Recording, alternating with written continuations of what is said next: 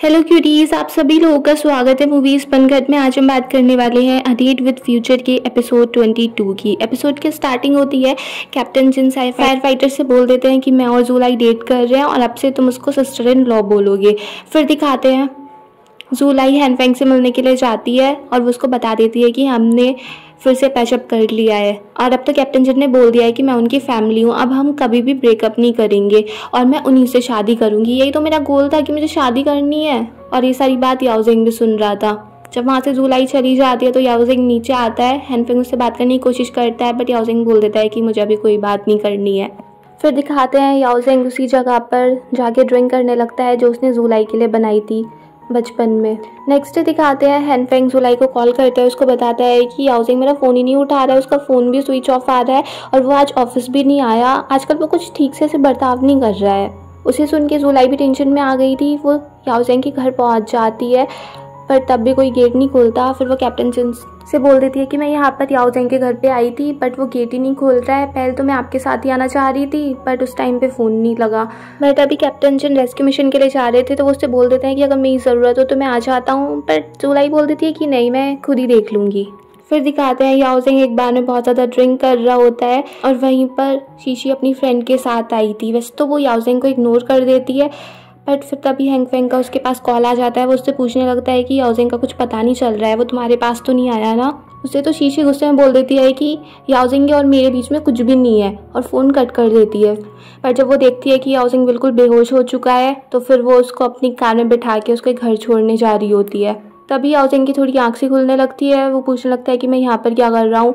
तो शीशी बोल देती है कि मुझे भी नहीं पता कि मैं यहाँ पर क्या कर रही हूँ। इस टाइम मुझे अपने फ्रेंड्स के साथ इन्जॉय करना चाहिए था, मगर मैं एक ड्रंक आर्ट को उसके घर पर छोड़ने जा रही हूँ।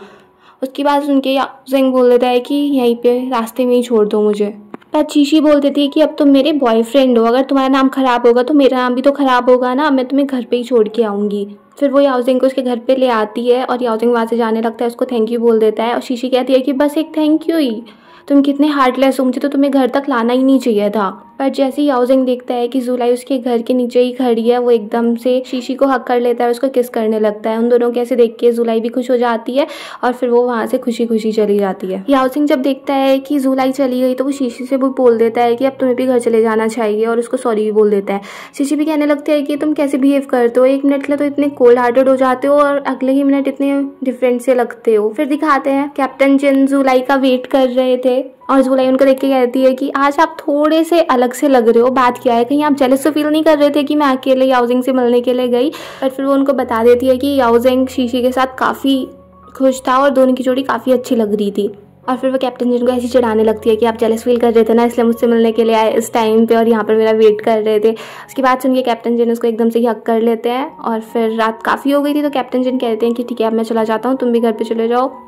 और जुलाई कैप्टन जिनको जाते हुए देखकर सोचती रहती है कि कि वो कैप्टन जन से कितना ज़्यादा प्यार करती है। फिर दिखाते हैं, शीशी सोच रही होती है कि याओजिंग ने मुझे एकदम से किस कर दिया और फिर घर जाने के लिए भी बोल दिया, बात क्या थी? कहीं वो शाही तो नहीं था, इसीलिए उसने ऐसा किया हो। तो वो ये सोच सोच के काफ़ी ज़्यादा खुशी हो रही थी। उसके मैनेजर कहती है कि, तुम एक सेलिब्रिटी हो। एक सेलिब्रिटी की तरह बिहेव तो करना सीखो। फिर दिखाते हैं, शीशी याओजिंग के पास पहुँच जाती है और उससे कहने लगती है कि, मुझे पता है, तुम मुझे मिस कर रहे हो ना, इसलिए मैं यहाँ पर आ गई। बट याओ सिंह कह देता है कि नहीं, ऐसा कुछ भी नहीं है। बट फिर बीसीसी बोलने लगती है कि उस दिन जो तुमने किया था, उसका एक्सप्लेनेशन कौन देगा? मुझे बताओ उस दिन ऐसा क्यों किया था तुमने। याओ सिंह उससे कह देता है कि सीधी बात यह है कि मैंने तुम्हारा यूज़ किया था। अब ये मत पूछना क्यों किया था, क्या किया था। बस मैंने तुम्हारा यूज़ किया था और इससे ज़्यादा कुछ एक्सपेक्ट मत करना। कुछ एक्सपेक्टेशन मुझसे मत रखना। उसकी बात सुन के शीशी वहाँ से गुस्से में चली जाती है और तभी उसको हैंडपेंग दिख जाता है और उसको पकड़ के वो पूछने लगती है कि याओ सिंह ने मुझसे बोला कि वो मुझे यूज़ कर रहा था। किस बात के लिए यूज़ कर रहा था? सच सच बात बताओ मुझे। हैनफेंग कहता है कि याओजिंग यूज़ कर रहा है ना तो उससे जाके पूछो, मुझे क्या पता? बट फिर भी शीशी हैनफेंग से उगलवाई लेती है और उसको पता चल जाता है याओजेंग जुलाई की वजह से ऐसा कर रहा है, क्योंकि वो जुलाई के साथ अपनी फ्रेंडशिप को ख़त्म नहीं करना चाहता, इसलिए वो ऐसा शो कर रहा है कि वो शीशी को डेट कर रहा है। फिर दिखाते हैं याओजेंग जुलाई को कॉल करता है और जुलाई भी बोलने लगती है कि कोई मिसिंग पर्सन मिल गया, कहाँ पर इतने बिज़ी थे? याओजेंग कहता है कि वो काम में थोड़ा ज़्यादा बिज़ी था तो तुम्हारा मैसेज मैंने अभी देखा। और फिर उससे बोल देता है कि चलो, रात को डिनर पे चलते हैं, तुम कैप्टन जिन को बुला लेना और मैं शीशी को बुला लूँगा। जुलाई भी इसके लिए तैयार हो जाती है, दूसरी साइड दिखाते हैं, शीशी बहुत ही ज़्यादा गुस्से में थी और तभी हाउसिंग का कॉल आ जाता है, वो उससे बोल देता है कि रात को मेरे साथ डिनर पे चलना। शीशी बोल देती है कि मुझे भूख नहीं है तो याओजिंग कह देता है कि कोई बात नहीं, बस मेरे साइड में बैठ जाना, इससे ज़्यादा मुझे कुछ नहीं चाहिए। शीशी भी गुस्सा हो जाती है कि तुम उससे माफ़ी इस टाइप से मांगोगे क्या? बट याओजिंग बोल देता है कि माफ़ी मांगने के लिए किसने बोला? उसकी बात सुन के शीशी को और गुस्सा आ जाता है और मना कर देती है कि मैं तो आने वाली नहीं हूँ।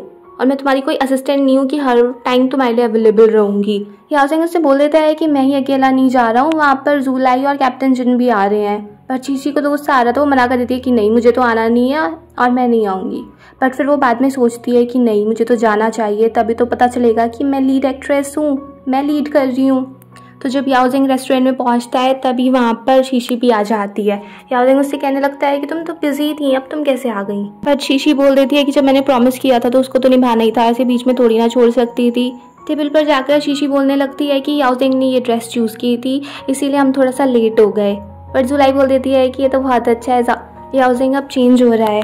फिर याओजिंग वहाँ पे ऑर्डर कर देता है और सारी डिशेज वही बोलता है जो जुलाई को पसंद थी। तो शीशी बोल देती है कि ये डिशेज तो मुझे पसंद ही नहीं है, तुमने मेरी एक भी फेवरेट डिश ऑर्डर नहीं करी।